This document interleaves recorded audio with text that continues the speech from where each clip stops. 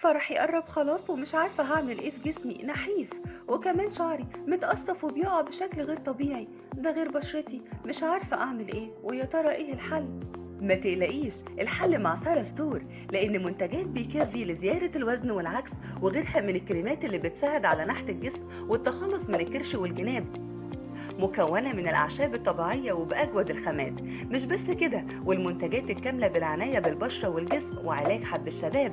ومفاجأة سارة ستور إن النتيجة هتشوفيها في أسرع وقت. وعندهم كمان كريم معالج الشعر اللي بيحافظ على نعومته وبيمنع التساقط. اختاري اللي يناسبك كل منتجات سارة ستور موجودة على جروب الفيسبوك بتاعنا. مع سارة ستور هتبقي أجمل عروسة.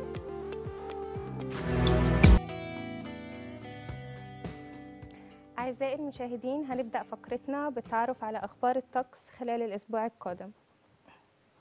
أعلنت هيئة موانئ البحر الأحمر إعادة فتح موانئ السويس بعد تحسين الأحوال الجوية واستقرار الرياح وتم استئناف الأنشطة البحرية والحركة الملاحية.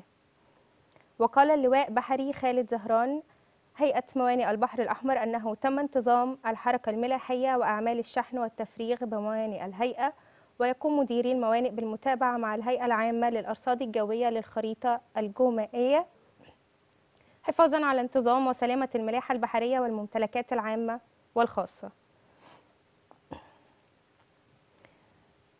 ننتقل إلى وزارة القوى العاملة.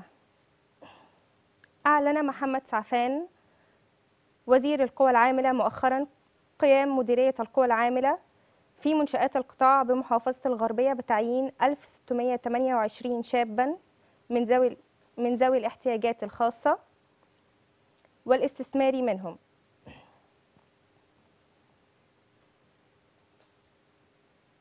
وننتقل لخبر يهم كل المصريين في التأمين الصحي. أكد الدكتور أحمد سبكي المشرف العام على تطبيق مشروع التأمين الصحي الشامل بالمحافظات ومساعدة وزير الصحة والسكان أن تكلفة البنية التحتية للمشروع بمحافظات المرحلة الأولى تقدر ب 34 مليار جنيه وأشار السبكي إلى المجاو... إلى. عفوا المحاورة الثمانية التي يرتكز عليها مشروع التأمين الصحي الشامل بمحافظة المرحلة الأولى وتشمل التخطيط الاستراتيجي إعداد البنية التحتية والتجهيزات والتحول الرقمي. ونختم فقرتنا بخبر يهم كل الصحفيين المتخصصين بقسم الحوادث. وافق مجلس الوزراء على إضافة مادة جديدة إلى قانون العقوبات تنص على أن يعاقب بالحبس مدة لا تقل عن سنة وغرامة لا تقل عن مئة ألف جنيه ولا تزيد عن مئتي ألف جنيه. OK آه ناخد هاتفيا الدكتورة. إيمان شاكر هتك... هتكلمنا عن أخبار الطقس الأسبوع القادم. أهلا دكتورة إيمان. أهلا بحضرتك يا فندم واهلا بكل السادة المشاهدين. OK ممكن حضرتك تقولي لنا أو تقولي للمشاهدين أخبار الطقس الأسبوع القادم؟ هو طبعا كان في حالة من عدم الاستقرار في الأحوال الجوية. بدأت يوم الأحد الماضي واستمرت حتى اليوم. والنهاردة كانت ذروة هذه الحالة.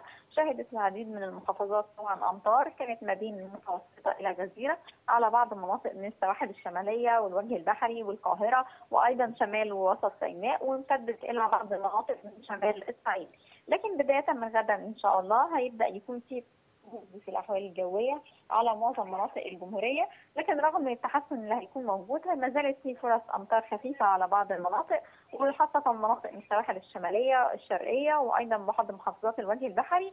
بالنسبة للقاهرة ممكن في أمطار خفيفة على بعض المناطق متفرقة لكنها أمطار غير مؤثرة تماما على أنشطة كل السادة المواطنين.